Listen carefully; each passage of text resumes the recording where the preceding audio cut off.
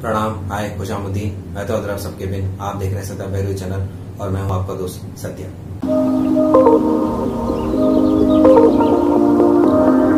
आज हम नए पिक्चर के ट्रेलर के बारे में रिव्यू करने वाले हैं। इस पिक्चर का नाम है थप्पड़।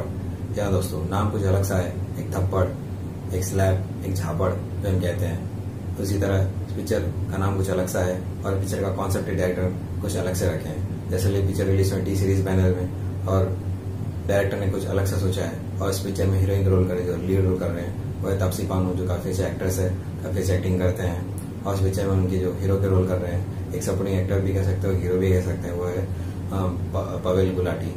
तो इस पिक्चर में एक हस्बैंड के रोल कर रहे हैं और सपोर्टिंग एक्टर जैसे, जो काफ़ी अच्छे एक्सपीरियंस एक्टर जो है, कुमुद मिश्रा, इस पिक्चर में उनके तापसी के बाप के रोल कर रहे हैं। और काफ़ी अच्छा उन्होंने एक्टर है, काफ़ी अच्छे सपोर्टिंग एक्टर्स है।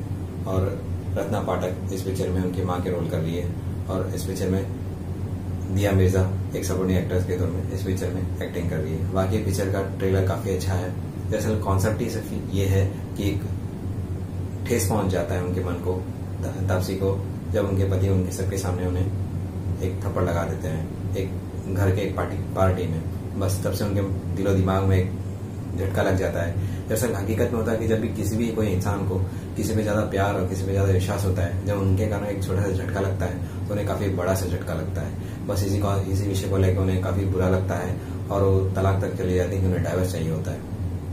जब पूछा जाता है कोर्ट में फैमिली कोर्ट में तो यही कहते हैं कि बस मैंने थप्पड़ मारा, इसलिए मैं तलाक चाहती हूँ, इसलिए मैं डाइवर्स चाहती हूँ, बस इसी तरह चलता है। बाकी हमेशा ऐसे होता है, जब इंसान के मन को जब जो से ठेस पहुँचता है, जब जिन पे ज़्यादा प्यार और जिन पे ज़्यादा विश्वास रखते हैं तो वो हमें कभी नुकसान पहुंचाते हैं तो हमें ऐसे ही लगता है। बस यही कॉन्सेप्ट है इस पिक्चर में।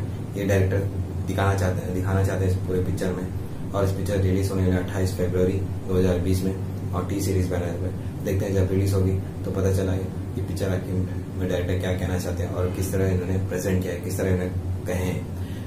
इस वीडियो में बस इतना ही। अगर आपको मेरे वीडियो अच्छा लगा तो मेरे चैनल सत्या चैनल को लाइक कीजिए शेयर कीजिए और सब्सक्राइब ज़रूर कीजिएगा, ताकि जब भी मैं वीडियो को अपलोड करूँ रोज वो खबर होता रहेगा। फिर मिलेंगे अगले वीडियो में, तब तक अपना ख्याल रखिएगा, बड़े बुज़ुर्ग का सम्मान कीजिएगा। जय हिंद, वंदे मातरम।